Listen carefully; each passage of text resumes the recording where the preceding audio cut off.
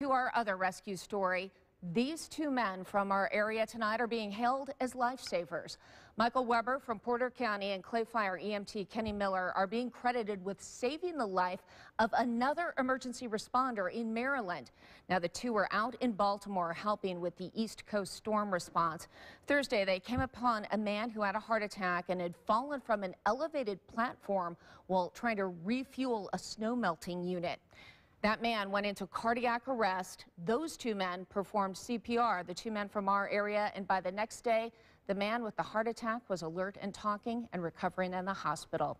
Miller and Weber and the incident response team they are a part of are expected to return to Indiana early next week.